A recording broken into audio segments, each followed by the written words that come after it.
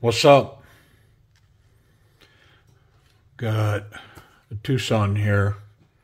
Let's get it open. Take a look at it. Get it disassembled and uh, cleaned up, tuned up. Get it checked in proper. Let's get out of this box and get going. This is something that I've wanted for a long time and just this is one of the ones I couldn't find at a good price. This happens to me a lot. I can't find them at a good price, and so I'm just patient. Um, I've got saved watches on eBay. Whew, that's going to stick in the pocket. But I've got saved watches on eBay for knives that I'm looking for. And when they pop up, I get a notification. And uh, it's crazy how uh, Dwin will, out of the blue, sell a knife that I've been looking for for months, maybe even a year. And all of a sudden there's one. And so I can take a run at it. And when they're not hyped up, you know, when this knife, this is a TwoSun TS 380. So when this knife was first rolling, it was hyped up. You couldn't, you couldn't nearly buy one. Like people were paying, this is one of those people were paying ridiculous amounts of money for. Um, it's only got 14 C28N steel in it, but I guess it's just one of them that the look, the feel appeals, and people want it. Can't touch that. Got a good full backspacer. I mean, if I really try, I can catch that little piece right there, but I, that's that's that I'd have to make a monumental effort to uh, cut myself. Let's uh, clear the workspace and clean it up. Take maybe a little bit of a closer look, and then we'll get it apart. Get it checked in. All right. A trusty, dirty microfiber.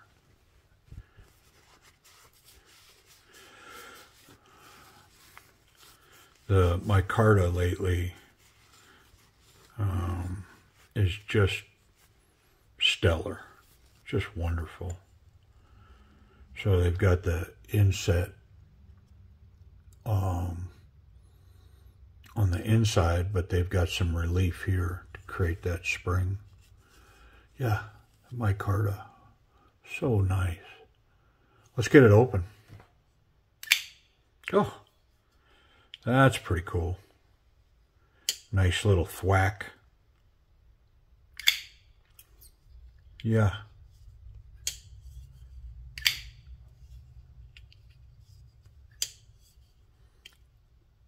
Great action. Almost drop shut. Got a spidey flick. It's kind of heavy. A heavy blade. That's a big blade. Hmm. Let's get it cleaned up and taken apart. How about that? What we got here? I'm not sure whose logo that is. Can't say I know. But TS380, 14C28N. Great steel. Sharpens so well. This uh, uh, carbon fiber, it's got a great texture to it it's actually kind of rough here. I mean, rough's probably too big of a word, but it's not smooth. This thing feels really good in the hand, and maybe that's part of the appeal. Great jimping down the top, really sharp. It bites. It's definitely going to lock you in. This will lock in me, lock in my fingers from the front. I don't have any concerns about going forward on this knife. This is probably useless here for me. I'd end up cutting myself right up on that tip. Um, but man, that's a good grip there. No hot spots. I can feel the clip in there, but slightly. It's not, it's not harsh at all. So great grip, great feel. Let's get it apart.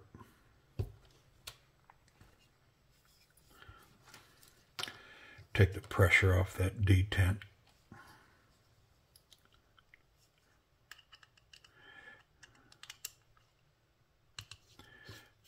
It's got some uh, back pressure on that screw, which is nice.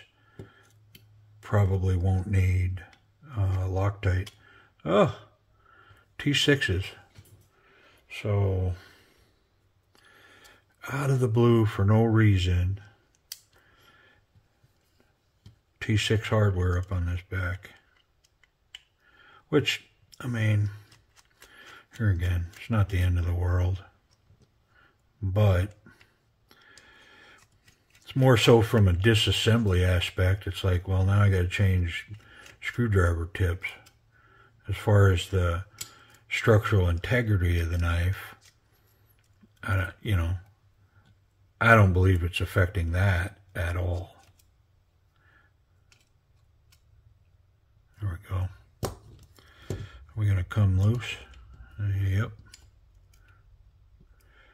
Uh, that's held on from the inside, so I don't think there's any escaping that. There we go. Got some oil and goop up in there. Not too bad. Doesn't look horribly dirty. But I've said it before, say it again. Can't possibly hurt to clean it. Get this oil sopped up and then reasonably lube it on the bearings. Um, can't help but do anything but improve the action, the function of the knife. Boy, that's a hunk of a blade. That's some blade stock right there. Let's start there.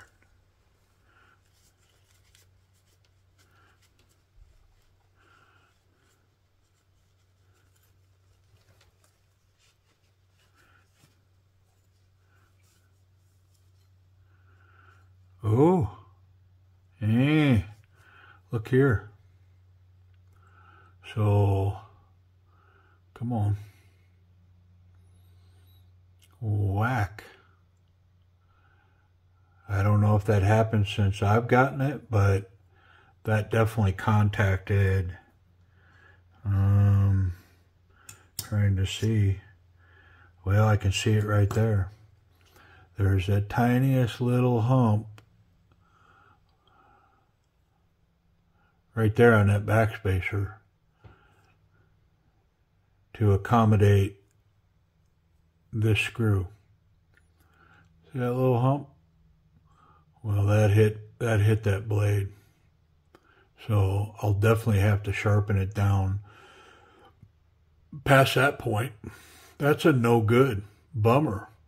And I'd say that I could trim this, but it doesn't look like there's a whole lot of space in that to take that down. I may do a little bit of both. Wow. But yeah, that that absolutely whacked that blade. I mean, I'm I'm going to have to work a little to get that out of there. Oh. Okay. Well, that's a negative. But we shall march on. Let's get this cleaned up. And uh, I'll make a decision on whether or not I'm going to trim up that, that backspacer. I most likely will because it didn't contact anywhere but there so by trimming that down, I may eliminate the whole thing, but there's a chance that if I if I trim let me get my little file.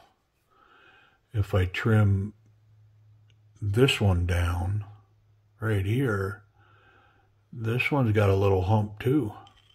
So it could hit there or or it could hit it could hit that whole thing. Yeah. So if I clearance, if I sharpen the blade and I clearance the blade so it doesn't contact that, then I should be good across everything because that's the only place it hit right there. So, hmm, lots of focus issues here. It's me trying to show you and look and figure it out all at the same time. Finish cleaning all this and make a decision whether to work on that backspacer a little bit or just solely do it in the blade.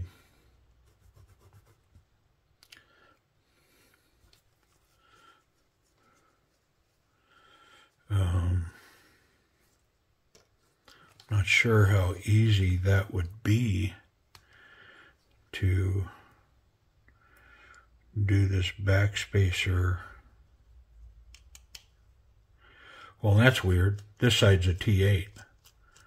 So, what the heck? Oh, well, I guess that's kind of making sense. They put T6s on the other side because they're trying to clearance, trying to clearance this right here. I get it. Well, that needed to come off anyways. Got all that goop in there.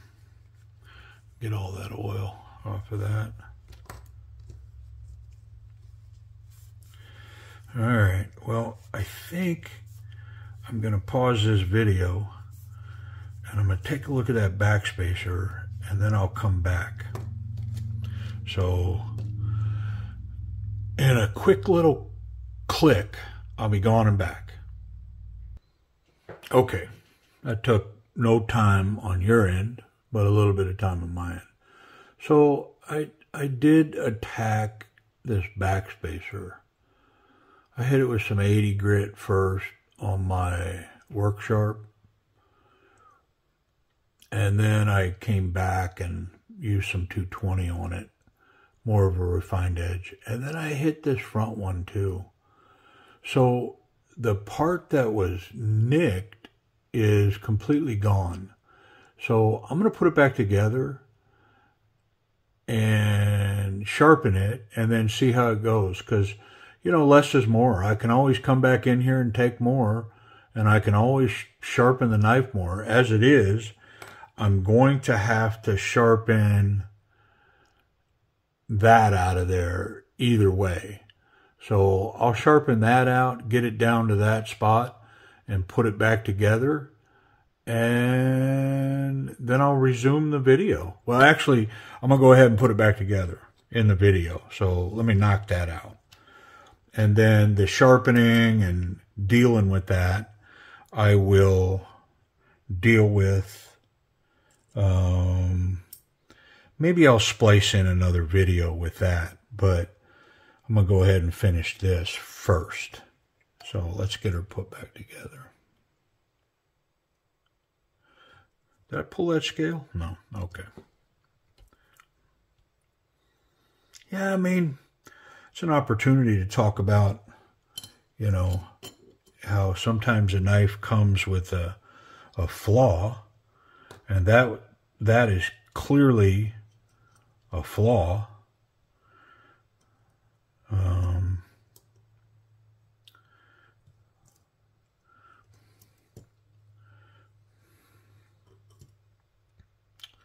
I guess I'll, I'm going to go back and do it the way I got it apart. These two T8s go in there.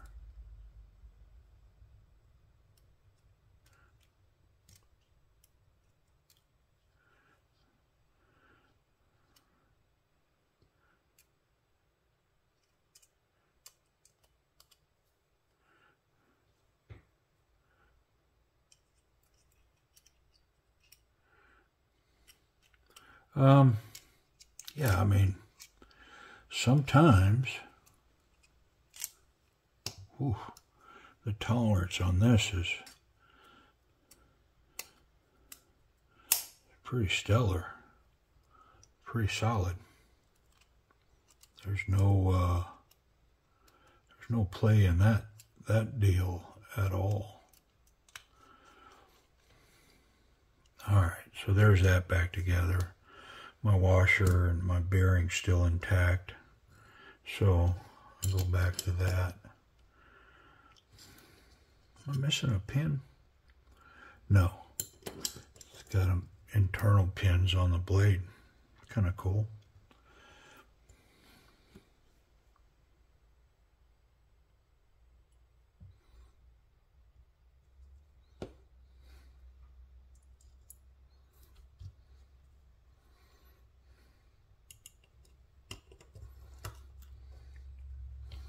This had some flex to it, so I'm going to go ahead and put it in with that T8 while I still have it on my screwdriver. Which I think I changed it. I did. So let's get these T6s in.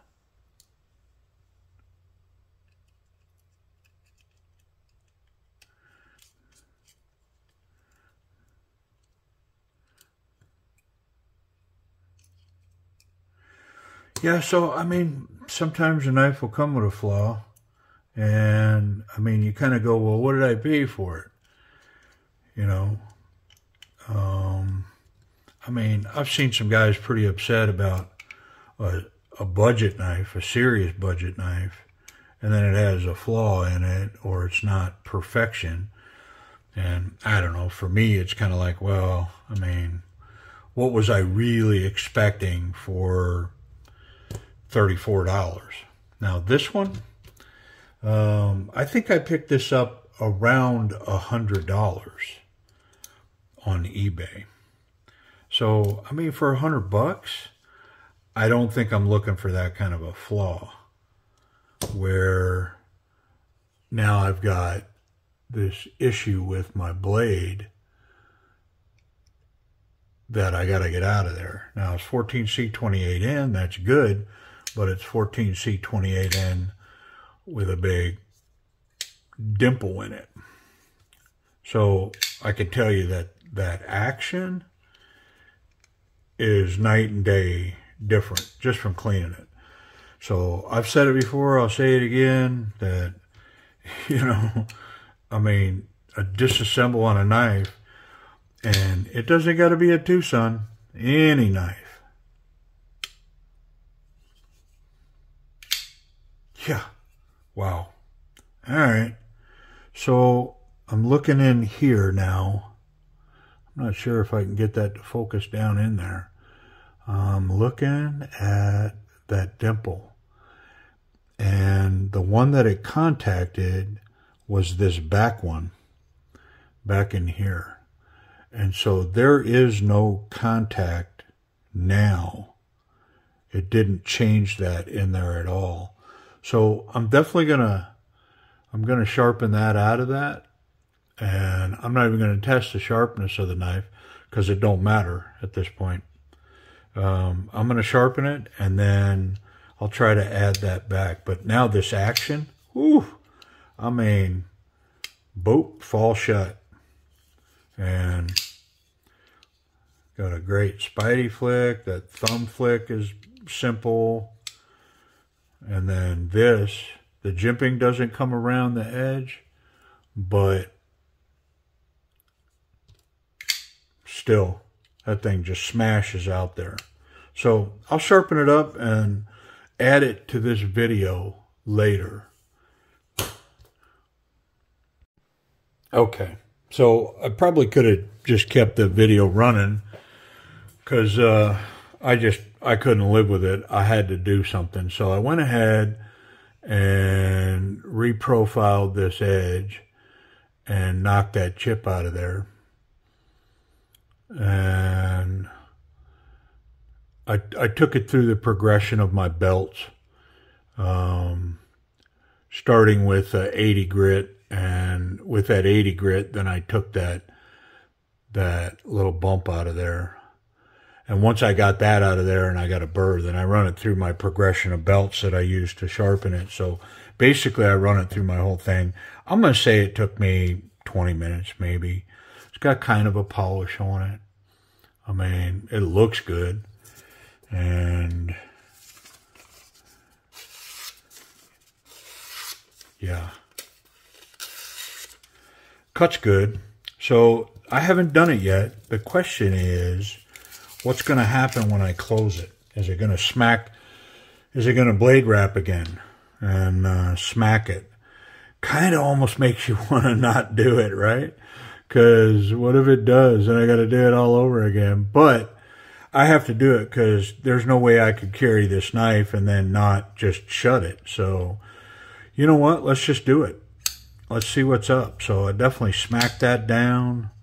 Let's hit it a couple of times. Let's see what's up. I mean, it's fall shutty at this point. This thing just whoop, and closes up. The blade is perfectly centered. And I know you want to know. What I want to know is what happened. And, you know, between between what I did to the backspacer and sharpening this knife, that took care of it. So we're also going to look in here. Man, I'm so happy. So that's where it was hitting, was that bump right there. And so it's kind of hard to get it to focus down in there. Um, I might be able to do it here.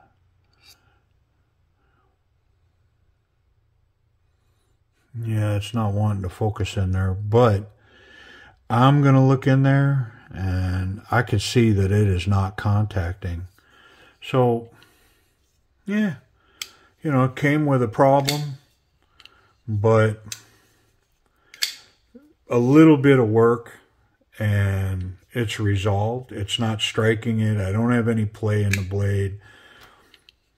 And uh, honestly, it's sharper than when it came, which is why I pretty much sharpen all my knives because I know I can put just a little bit of work in it and it be I mean these TwoSuns come pretty dang sharp. They really do.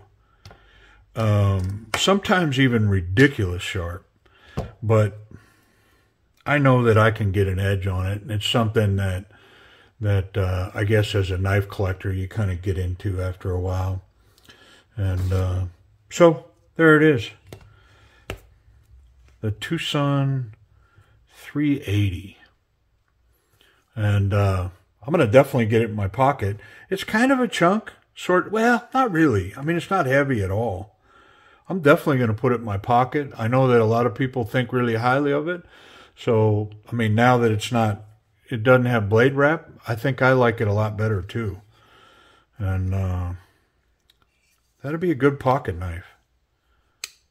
Great action. All right. Appreciate you watching. Sorry for the splice. I should have just kept it running. Maybe even tilted my camera over and let you watch me sharpen it. But I can do a video on sharpening. Um, anyways, thanks for watching.